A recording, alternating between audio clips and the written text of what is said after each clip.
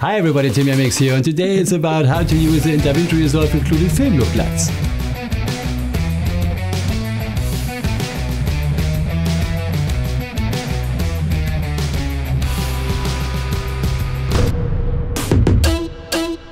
I don't recommend to use LUTs, especially if you are not sure how the LUT is built for, but there are some really great LUTs already included in DaVinci Resolve, so for example the Arilog C2X709 LUT or the Film Look LUTs for Fuji and Kodak.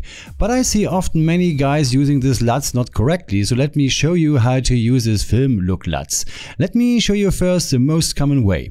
If I adjust my image as usual with my primaries, let me do this quickly adjusting gain and lift, a bit gamma, and finally, let's say bring in a bit contrast.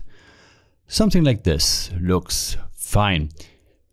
Then I have a good starting point. And here is the first important fact. Never, really never add a LUT in your first node. Don't do that. It will not work correctly. Now I add another serial node and let's say we want to use a Kodak 2383 D65 film look here. And now see what happens. This does not work. What many guys try to do now is to add another serial node behind this LUT and then to adjust the image again. Look, this does not work very well. What many guys are doing too is to readjust the image in the first node here. This can work, but that's not for what this LUT is built for. For sure, you can adjust it until it looks good, but the better and more correctly way is to use this LUT in the following way.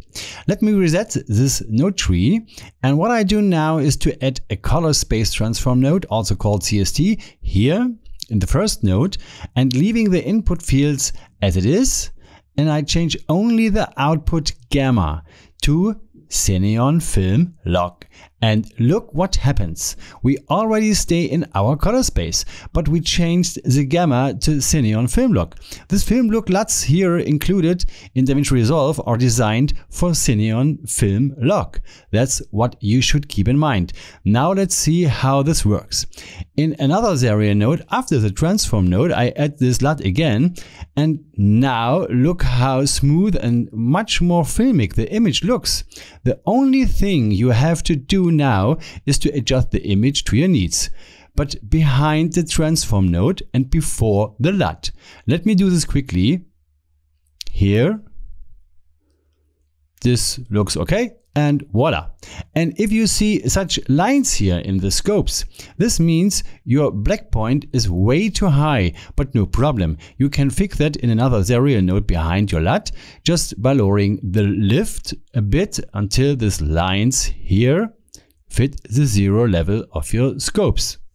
And what you should avoid is to bring in saturation before the LUT. Let me show you why. If I rise up the saturation to 7.5 for example, here in my primaries nodes, the image looks okay, but that's not what you want. What you want is to apply this filmic look LUT to achieve this film look and this means to get the film look colors too, right? So let me add another version and now I reset the saturation on this primaries node 250. And then in my last node, I increase the saturation to 752. So we have the same saturation level in both versions, but now after the LUT. And if I now jump between these two versions, you can see the difference clearly. Look how much better the colors and especially the skin tones looks now. Again, before and after, and that's for what the LUT is built for. Now we have applied this LUT correctly. The most important is to adjust your primaries between the transform node and the LUT node, but only the primaries and the bit contrast. That's it. All other adjustments should be done after the LUT. For example, qualifiers and power windows. That's the right way to work with this LUTs because for this they are built for. And if you have to deal with noise in your image, this always has to be the first node, in this case before the transform node. You know, I highly recommend not using LUTs. The only exception are film look LUTs and technical LUTs like the Arilog C2X9 for example, but I mostly transform footage by transform nodes or in the project. And if you want to know how to achieve a look without using LUTs, just watch my look creation videos. I link some in the final credits. And please don't forget to subscribe. Thanks for watching. You all a great time. Bye.